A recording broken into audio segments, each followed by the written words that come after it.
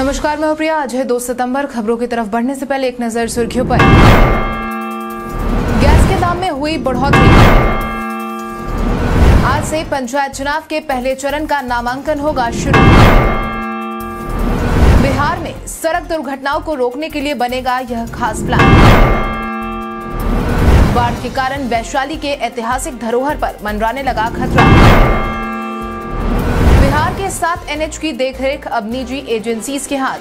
अब चले बढ़ते हैं बिहार की 25 बड़ी खबरों की ओर विस्तार से। Andhra Pradesh eastern power distribution company limited ने निकाली रिक्तियाँ। Andhra Pradesh eastern power distribution company ने energy assistant junior lineman grade two के पदों पर आवेदन की मांग की है। इन पदों के लिए अगर हम वैकेंसीज की बात करें तो कुल मिलाकर तीन पद जारी किए गए हैं। इसके साथ ही अगर हम शैक्षणिक योग्यता की बात करें तो अभ्यर्थियों का दसवीं पास होना, आईटीआई, इलेक्ट्रिकल, वायरमैन ट्रेड में या इसके समकक्ष कोई डिग्री होना अनिवार्य है। इच्छुक और योग्य उम्मीदवार चौबीस सितंबर दो हज़ार इक्कीस तक आधिकारिक website W eastern power dot com पर जाकर आवेदन भर सकते हैं। इसके साथ ही आप इन पदों से जुड़ी तमाम जानकारी नीचे डिस्क्रिप्शन बॉक्स में दिए गए यूआरएल से जाकर ले सकते हैं। गैस के दाम में हुई बढ़ोतरी। बिहार समेत देश के अलग अलग राज्यों में एक बार फिर से रसोई गैस सिलेंडर की कीमतों में बढ़ोतरी कर दी गई है। आपको बता दें कि 1 सितंबर से रसोई गैस के साथ ही कमर्शियल गैस सिलेंडर की कीमतों में बढ़ोतरी की गई है। आपको यह भी बता दें कि इससे पहले चौदह किलोग्राम वाले घरेलू गैस सिलेंडर की कीमत राजधानी पटना में नौ थी तो वहीं अब बढ़कर नौ रुपए हो गई है। घरेलू गैस सिलेंडर में पच्चीस रुपए की वृद्धि की गई है। वहीं दूसरी तरफ़ नन डोमेस्टिक गैस सिलेंडर जो की पाँच किलो का है, उसकी कीमत में नौ रुपए की वृद्धि की गई है। आपको बता दें कि पहले ये गैस सिलेंडर तीन में मिलता था, जो कि बढ़कर तीन का हो गया है। गैस के दाम में बढ़ोतरी होने से इसका असर लोगों की जेब पर साफ़ साफ़ देखने को मिलने वाला है। आज से पंचायत चुनाव के पहले चरण का नामांकन होगा शुरू। बिहार पंचायत चुनाव का बिगुल फूक चुका है, जिसके साथ ही बिहार में अब पंचायत चुनाव का आयोजन 24 सितंबर से होने वाला है, जिसके लिए पहले चरण का मतदान होने वाला है। वहीं पहले चरण के मतदान को लेकर आज से नामांकन की प्रक्रिया शुरू होने वाली है। यानी कि आज से पहले चरण के 10 जिलों के 12 प्रखंडों में होने वाले चुनाव में जो भी प्रत्याशी हिस्सा लेने, लेना चाहते हैं, वो अपना नामांकन दर्ज करवा सकते हैं। ज्ञात हो, पहले चरण में धावत और संजौली, कुदरा, बेलागंज और खिजरसराय, गोविंदपुर, औरंगाबाद, काको, सोनभद्र, बंशी, सूर्यपुर, तारापुर, सिकंदरा, धौरैया प्रखंड में मतदान होने वाला है। बर्थडे स्पेशल में हम बात करेंगे नरेंद्र झा की। नरेंद्र झा का जन्म आज के दिन बिहार की राजधानी पटना में साल उन्नीस सौ बासठ को हुआ था। नरेंद्र झा एक भारतीय अभिनेता थे झा बॉलीवुड प्रोडक्शंस में अपने काम के लिए जाने जाते हैं। उनकी सबसे प्रसिद्ध फ़िल्में Haider, Raees, Ghayal once again, Hamari Adhuri Kahaani, Mohenjo Daro, Shorgul my father Iqbal, force two, Kaabil, दो हज़ार सोलह और दूरदर्शन की शांति है। वो आखिरी बार एक्शन फ़िल्म रेस तीन में दिखाई दिए थे। 14 मार्च 2018 को दिल का दौरा पड़ने के बाद झा की नासिक में उनके फार्म हाउस में जान चली गई थी। वो चौवन वर्ष के थे। वंशावली और स्वघोषणा के समर्पण का काम हुआ आसान। राजस्व विभाग की तरफ़ से साझा की गई जानकारी के अनुसार बिहार में वंशावली और स्वघोषणा के समर्पण का काम घर बैठे बैठे होने वाला है, जिसके तहत रैयत अब आसानी से घर बैठे बैठे इसके लिए अप्लाई कर सकते हैं। हालाँकि इस दौरान उन्हें अपने कागजात का पीडीएफ बनाना होगा। ज्ञात हो पहले रैयतों को अपने स्वामित्व वाली धारित भूमि के बारे में एक फॉर्म भरकर अपने मौजा से संबंधित शिविर में जाकर जमा करना होता था। कई बार प्रपत्र के खो जाने का खतरा भी पैदा हो जाता था। हालाँकि अब इन सभी समस्याओं से आम जनजीवन को छुटकारा मिल गया फिर बढ़ा दी इंटर में परीक्षा फॉर्म भरने की तारीख। छात्रों की सहूलियत को ध्यान में रखते हुए बिहार बोर्ड ने इंटर और मैट्रिक में नामांकन की तारीख को एक बार फिर बढ़ा दिया है, जिसके तहत अब इच्छुक और पात्र छात्र तीन सितंबर तक परीक्षा फॉर्म भर सकते हैं। ध्यान रहे, परीक्षार्थी अपने शिक्षण संस्थान के प्रधान के माध्यम से अपने सभी विषयों की परीक्षा में शामिल होने के लिए ऑनलाइन फॉर्म भरेंगे। साथ ही रजिस्ट्रेशन में सुधार भी तीन सितंबर तक करवा सकते हैं। इसके साथ ही बोर्ड ने कहा है की इस परीक्षा में पूर्ववर्ती असफल स्टूडेंट भी शामिल हो सकते हैं। इंटर और मैट्रिक साल दो हज़ार बीस और इक्कीस के सूचीकृत स्टूडेंट्स इंटर और मैट्रिक 2022 की परीक्षा में पूर्ववर्ती कोटि के रूप में शामिल होने के लिए मान्य होंगे। पटना हाईकोर्ट ने संविदा स्वास्थ्य कर्मियों की मांग को लेकर सरकार को दिया निर्देश। पटना हाईकोर्ट ने राज्य में संविदा पर काम कर रहे स्वास्थ्य कर्मियों की मांग के संबंध में शिवानी कौशिक और अन्य की जनहित याचिका पर चीफ जस्टिस संजय करोल की खंडपीठ ने सुनवाई करते हुए राज्य सरकार को चार सप्ताह के अंदर निर्णय लेने का आदेश जारी कर दिया है। इसके साथ ही कोर्ट ने अपने आदेश में साफ़ कहा है कि राज्य के मुख्य सचिव को संबंधित अधिकारियों की बैठक बुलाकर संविदा कर्मियों की मांग पर निर्णय लेना होगा। साथ ही पिछली सुनवाई करते हुए कोर्ट ने ईएसआईसी मेडिकल कॉलेज और अस्पताल में डॉक्टर, नर्सिंग स्टाफ, कर्मचारी, वार्ड बॉय और अन्य रिक्ति को भरने जाने को लेकर भी राज्य सरकार और अस्पताल प्रशासन की तरफ़ से की जा रही कार्रवाई का ब्यौरा पेश करने का निर्देश दिया था, जिसको लेकर अब अगली सुनवाई पाँच सप्ताह बाद दोबारा से की जाएगी। अगले सप्ताह से शुरू होगी वैशाली और बोधगया के लिए दो दो इलेक्ट्रिक बसें। यात्रीगण कृपया ध्यान दें। अगर आप भी वैशाली और बोधगया जाने की सोच रहे हैं तो आपके लिए ये खबर कुछ खास है, क्योंकि वैशाली और बोधगया के लिए दो दो इलेक्ट्रिक बसें अगले सप्ताह से शुरू होने वाली है। वैशाली जाने वाली दोनों बसें बुद्ध सर्किट से होते हुए दरभंगा तक जाएगी। पटना से हाजीपुर, लालगंज, वैशाली होते हुए मुजफ्फरपुर और वहाँ से दरभंगा तक ये दोनों बसें जाएँगी। ये दोनों बसें उन दो बसों के अलावा होंगी जो अभी एन एच होते हुए चलती है, जिसके बाद अब बसों की संख्या चार हो गई है। वही राजगीर रूट पर भी दो नई इलेक्ट्रिक बसों का परिचालन होगा, जो राजगीर होते हुए बोध गया जाएगी, जिसके बाद इस रूट पर भी बसों की संख्या चार हो जाएगी। इसके साथ ही बिहार में जल्द ही मध्यरात्रि बसों की सेवा भी शुरू होने वाली है, जो बारह बजे तक चलेगी। अब आइए जानते हैं कैसा रहेगा आपके ज़िले में मौसम का हाल। आईएमडी पटना की तरफ़ से मिली जानकारी के अनुसार उत्तर पश्चिमी बिहार के ज़िले पूर्वी और पश्चिमी चंपारण, सिवान, सारण और गोपालगंज ज़िले में आज अधिकतर जगहों पर बारिश होने की संभावना है। वहीं उत्तर मध्य बिहार के ज़िले सीतामढ़ी, मधुबनी, मुजफ्फरपुर, दरभंगा, वैशाली, शिवहर और समस्तीपुर में भी कुछ जगहों पर बारिश होने का अनुमान है। उत्तर पूर्व बिहार के ज़िले सुपौल, अररिया, किशनगंज, मधेपुरा, सहरसा और पूर्णिया ज़िले के अधिकांश जगहों पर आज बारिश का अनुमान जताया गया है। इसके साथ ही अन्य जगहों पर भी आंशिक रूप से बादल छाए रहने की उम्मीद है। वहीं दक्षिण पश्चिम बिहार के ज़िले बक्सर, भोजपुर, रोहतास, भभुआ, औरंगाबाद, जहानाबाद और अरवल में आज कुछ ही जगहों पर बारिश की संभावना है। दक्षिण मध्य बिहार के ज़िले पटना, गया, नालंदा, शेखपुरा, नवादा, बेगूसराय और लखीसराय ज़िले के कुछ स्थानों पर आज हल्की बारिश का अनुमान है। वहीं अन्य जगहों पर आंशिक रूप से बादल छाए रहेंगे। वहीं दक्षिण पूर्व बिहार के ज़िले कटिहार, भागलपुर, बांका, जमुई, मुंगेर और खगड़िया के ज़िले में कुछ स्थानों पर बारिश होने की उम्मीद जताई गई है। शिक्षक नियोजन के लिए 17 सितंबर तक लिए जाएँगे आवेदन। बिहार में माध्यमिक और उच्च माध्यमिक अभ्यर्थियों के लिए अहम सूचना। शिक्षा विभाग छठे चरण में अब बत्तीस हज़ार सात सौ चौदह पदों के लिए आवेदन मांग रही है। पहले रिक्तियों की कुल संख्या तीस हज़ार बीस थी, जिसमें करीब दो हज़ार पदों की बढ़ोतरी की गई है। जिसके तहत अब अभ्यर्थियों के पास 17 सितंबर तक की तारीख है। हालाँकि इस प्रक्रिया से वैसे शिक्षकों को बाहर रखा गया है, जिन्होंने अपना आवेदन पहले ही जमा कर दिया है, क्योंकि ऐसे शिक्षकों को दोबारा से आवेदन करने की कोई ज़रूरत नहीं है। इसके साथ ही शिक्षा विभाग पहले ही यह स्पष्ट कर चुका है कि जब छठे चरण के माध्यमिक और उच्च माध्यमिक शिक्षकों की बहाली प्रक्रिया दिसंबर महीने में पूरी हो जाएगी, उसके बाद सातवें चरण की बहाली प्रक्रिया शुरू होगी। छठे चरण में जो पद रिक्त रह जाएँगे, उन्हें भी सातवें चरण में शामिल किया जाएगा। राजस्व एवं भूमि सुधार विभाग को मिल गए चार सौ तिरानवे नए अफसर बीते दिन राजस्व एवं भूमि सुधार विभाग को बड़ी संख्या में नए अधिकारी मिल गए हैं। बिहार लोक सेवा आयोग की तरफ़ से मिली जानकारी के अनुसार चौसठवीं संयुक्त परीक्षा के आधार पर बिहार राजस्व सेवा के लिए चार सौ तिरानवे अभ्यर्थियों का चयन हो गया है। अब सफल अभ्यर्थियों के प्रमाण पत्र की जाँच विभाग जल्द ही करेगा। आधिकारिक जानकारी के अनुसार राजस्व एवं भूमि सुधार विभाग इक्कीस सितंबर ऐसी चौबीस सितंबर तक दो पारियों में शास्त्री नगर स्थित सर्वे प्रशिक्षण संस्थान में सत्यापन का काम करेगा। जिसके बाद अब राजस्व सेवा के चार सौ तिरानवे नए सफल कैंडिडेट के आने से विभाग में अधिकारियों की कमी पूरी हो जाएगी और काम भी सुचारू ढंग से किया जा सकेगा।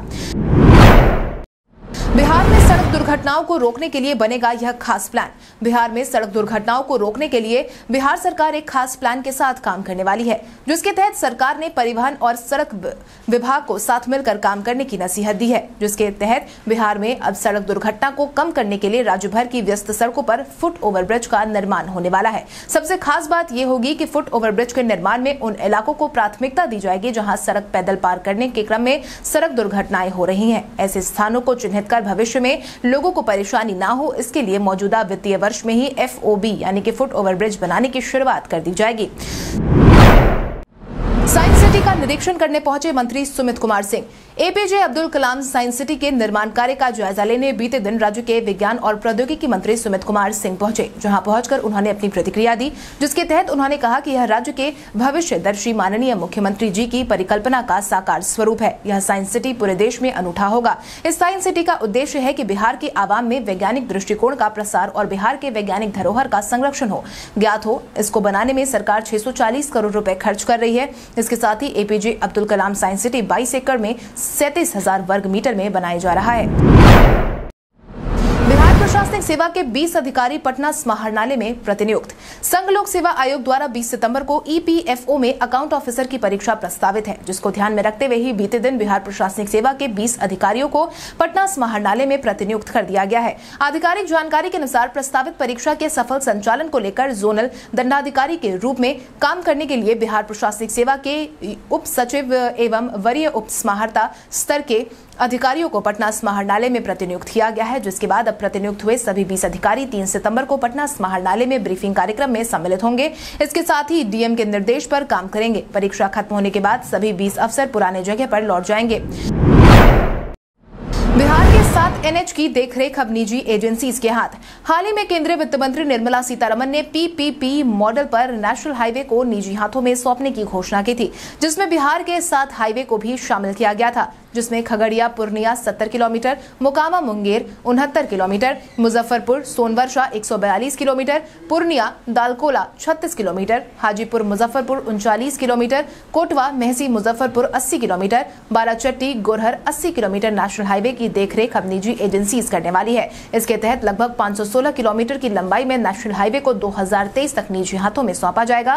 ध्यान रहे कि इन सड़कों का निर्माण नहीं होना है। यह सड़क तीन साल के लिए दी जाएगी। इसमें ट्रैफ़िक के अनुसार सड़कों का समय समय पर चौरीकरण सहित मेंटेनेंस किया जाएगा। के कारण वैशाली के ऐतिहासिक धरोहर पर मंडराने लगा खतरा। बिहार के कई ज़िले वर्तमान समय में बाढ़ की चपेट में हैं, जिसके कारण आम जनजीवन पूरी तरीके से अस्त व्यस्त है। इसी बीच अब बाढ़ के कारण ऐतिहासिक धरोहर पर भी खतरा मंडराने लगा है जिसमें वैशाली के कई पुरातत्विक स्थलों का नाम शामिल है। वही वहीं भगवान बुद्ध का अस्थि अवशेष स्थल भी कई महीने से जल जमाव में डूब गया है। हैरानी की बात यह है कि इस पवित्र स्थल के रैलिक स्तूप से जल निकासी के लिए अभी तक कोई इंतज़ाम नहीं किया गया है। इस ऐतिहासिक स्थल की दुर्दशा पर किसी का ध्यान नहीं जा रहा है और यहाँ पहुँचने वाले देशी विदेशी पर्यटकों को निराशा हो रही है। इसके साथ ही बाढ़ के कारण अभिषेक पुष्पकर्णी, शांति स्तूप समेत अशोक स्तंभ और भगनावशेषों की हालत भी खराब है। चुनाव में सीआरपीएफ जवानों की नहीं होगी तैनाती। आगामी पंचायत चुनाव को लेकर बिहार में तैयारियाँ तेज हो गई हैं। इन सब के बीच पंचायत चुनाव को लेकर आज से पहले चरण के नामांकन की प्रक्रिया शुरू होने वाली है। इसी बीच राज्य निर्वाचन आयोग ने पंचायत चुनाव संबंधी एक और अहम जानकारी साझा कर दी है, जिसके तहत बिहार में होने वाले पंचायत चुनाव के दौरान केंद्रीय सुरक्षा बलों की तैनाती नहीं होगी। राज्य निर्वाचन आयोग ने राज्य के अपने सुरक्षा बल के सहारे पंचायत चुनाव कराने का निर्णय लिया है, जिसके बाद अब आगामी पंचायत चुनाव के दौरान सभी जिलों में जिला पुलिस बल, बिहार सैन्य पुलिस और होमगार्ड के जवानों की तैनाती की जाएगी। इनमें सशस्त्र और लाठी बल के जवानों की तैनाती विभिन्न जगहों पर की जाएगी। चलन दस्ते में शामिल पुलिस के जवान भी पंचायत चुनाव पर नज़र रखेंगे। इको टूरिज़्म से संबंधित प्रस्तुतिकरण मुख्यमंत्री के सामने हुआ पेश। बीते दिन मुख्यमंत्री नीतीश कुमार के समक्ष पर्यावरण, वन एवं जलवायु परिवर्तन विभाग ने वीडियो कॉन्फ्रेंसिंग के माध्यम से इको टूरिज़्म पॉलिसी से संबंधित प्रस्तुतिकरण दिया, जिसके तहत पर्यावरण, वन एवं जलवायु परिवर्तन विभाग के प्रधान सचिव श्री दीपक कुमार सिंह ने इको टूरिज़्म पॉलिसी से संबंधित प्रस्तुतिकरण में इको टूरिज़्म को बढ़ावा देने को लेकर विस्तृत जानकारी दी। उन्होंने eco tourism plan implementation strategy आदि के संबंध में जानकारी दी है। वहीं इस दौरान सीएम नीतीश ने अपना बयान जारी करते हुए कहा कि प्रकृति से सामंजस्य रखते हुए पर्यटन को बढ़ावा देना है। इस बात का ध्यान रखना है कि प्रकृति को किसी तरह से कोई नुकसान न हो। इको टूरिज़्म के विकास से राज्य में आने वाले पर्यटकों की संख्या तो बढ़ेगी ही, साथ ही स्थानीय लोगों की आमदनी भी बढ़ेगी। इसके साथ ही इको टूरिज़्म का प्रबंधन और मेंटेनेंस विभाग की तरफ़ से किया जाएगा। तेजस्वी यादव ने सरकार की 19 लाख नौकरियों के दावे को बताया खोखला। बिहार विधानसभा चुनाव के दौरान बिहार सरकार ने बिहार में सरकार बनने के साथ ही अगले पाँच साल में 19 लाख नौकरी देने का वादा किया था। हालाँकि अपने इस वादे को अमली जामा पहनाने में बिहार सरकार कोई खास सफल नहीं हो पाई है, जिसको लेकर ही अब विपक्ष ने मुँह खोलना शुरू कर दिया है। जिसके तहत नेता प्रतिपक्ष तेजस्वी यादव ने भी बीते दिन उस मुद्दे को लेकर अपना ट्वीट जारी किया है और कहा कि पिछले एक वर्ष में बिहार में पंद्रह लाख नौकरी और रोज़गार समाप्त हुए हैं, बल्कि एनडीए सरकार का उन्नीस लाख नौकरियों और रोज़गार देने का वादा भी उन्होंने किया था। युवा विरोधी एनडीए सरकार सोलह वर्षों में बेरोजगारी मिटाने और नौकरी देने वाली एक सुदृढ़ नीति भी नहीं बना पाई है। नौकरी देना तो बहुत दूर की बात है। अब ये नौकरी छीनने में लगे हुए हैं। चुनाव पासवान आरा से 3 सितंबर को करेंगे आशीर्वाद यात्रा। लोजपा के राष्ट्रीय अध्यक्ष और जमुई सांसद चिराग पासवान पूरे बिहार में ज़ोर शोर से आशीर्वाद यात्रा कर रहे हैं, जिसके तहत ही अब चिराग बिहार में जल्द ही दसवें चरण की आशीर्वाद यात्रा की शुरुआत करने वाले हैं। मीडिया में आई खबरों के अनुसार चिराग तीन सितंबर को अपनी इस यात्रा की शुरुआत करने वाले हैं। चार सितंबर को बक्सर ज़िले में कई स्थलों पर जाकर वहाँ की जनता से आशीर्वाद यात्रा के तहत आशीर्वाद प्राप्त करेंगे। इसको लेकर दो सितंबर यानी की आज चिराग बिहार आने वाले हैं और तीन सितंबर को बाबू वीर कुंवर सिंह की धरती आरा से आशीर्वाद यात्रा की शुरुआत करेंगे। लोजपा प्रवक्ता चंदन सिंह ने ईटीवी भारत से खास बातचीत में इसकी जानकारी दी और साथ ही ये भी बताया कि चिराग पासवान को जनता का भरपूर प्यार और आशीर्वाद लगातार मिल रहा है।